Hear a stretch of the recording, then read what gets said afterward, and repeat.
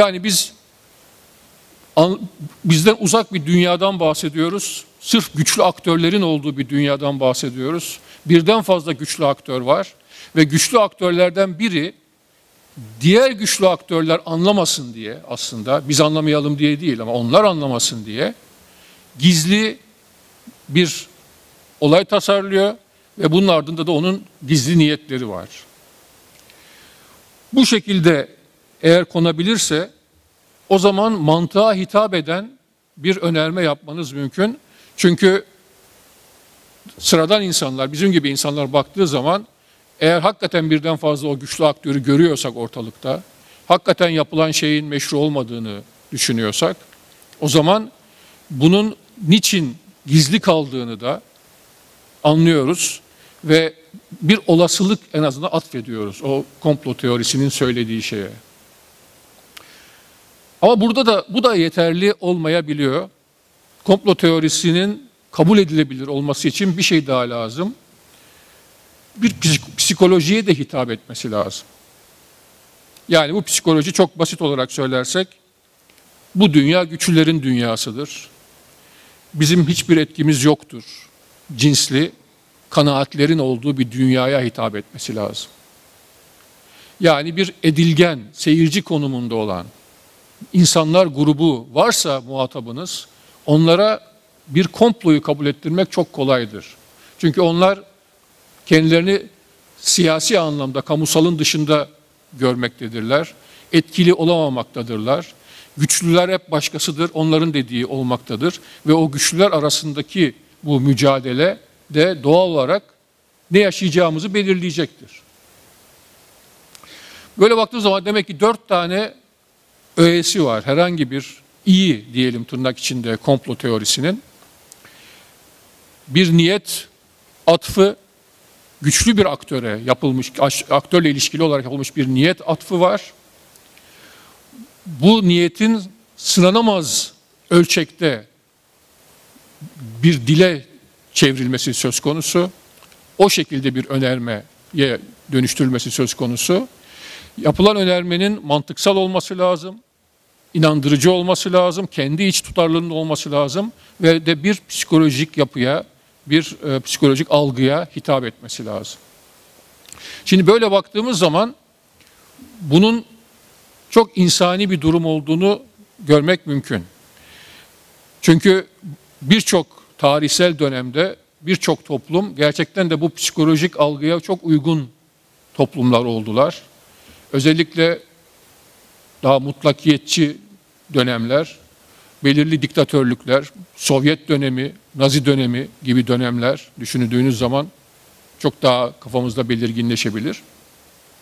Ama bilinmeyenin, bilin, bilinmesi mümkün olmayanın bizi etkilediği her durumda komplo teorisi caziptir ve bu da çok kadim bir geçmişe bizi götürüyor. Yani mesela çok tanrılı dinlerin olduğu döneme bakalım. Çok tanrılı dinlerin olduğu o ilk çağlarda olan biten her şey o tanrılar arasındaki mücadeleler ve karşılıklı komplolarla açıklanıyordu. Biz onların gerçek durumlarını, amaçlarını bilemeyiz. Çünkü onlar tanrı. Ama birden çok tanrı var. Hepsinin ayrı bir gücü var. Ve de dolayısıyla da onlar arasındaki bu katakulliler diyelim bizi de sonuçta etkileyecektir. Bu bakış insanları hem rahatlatan hem onlara bir açıklama getiren bir bakış ama aynı zamanda da anlaşılmaz olanı, bizim anlayamayacağımız olan şeyi anlaşılmaz olarak bırakan da bir bakış. Dolayısıyla da rahatlatıcı bir bakış ve din konusu söz konusu olduğunda belki bugünün bugün baktığımız zaman e, bunu daha belki teologlar vesaire din sosyologları daha iyi anlayabilir, e, araştırabilir. Belki bugün bile bizim inanç sistemimizin içinde böyle unsurlar vardır bilemiyorum ama geçmişe gittikçe ve dinsel alanı tanrılar dünyasını diyelim kendimizden daha uzak olarak tanımladıkça bunun ihtimali artıyor ve tabii ki şu da var çok tanrılığa doğru gittikçe de tabii ki artıyor çünkü orada çok özne var. Daha yakın zamanlara geldiğimiz zaman buna çok yakın olan bir şeyi mesela Osmanlı dünyasında görüyoruz. Saray entrikaları tamamen komplocu bir bakışla algılanmaya çalışılıyordu. Çünkü saray da aslında o çok tanrılı dünyanın bir küçük mikro hali. Saray diye bir olay, durum var, bir entite var. Onun içinde bir sürü özne var. Ve bu öznelerin kendi aralarında mücadeleleri var. İşte harem ağaları var, e, gelinler var, sultanlar var, e, eşleri var, şunlar bunlar ve her birinin kendine ait hedefleri, niyetleri var. Bunları biz hiçbir zaman bilmiyoruz, bilemeyiz. Ama sürekli olarak orada bir mücadele olduğuna dair de bir kanaatimiz var. Ve biz bu mücadeleyi anlamamızın da imkanı da yok aslında. O yüzden de bunu ancak o kişilere atfettiğimiz niyetler üzerinden anlayabiliyoruz. Dolayısıyla bu topraklarda bu bizlerin geçmişine doğru gittiğimiz zaman çok yoğun olarak bir komplo teorisine yatkınlık söz konusu. Ama dediğim gibi bunun bir insani tarafı da var gördüğümüz gibi.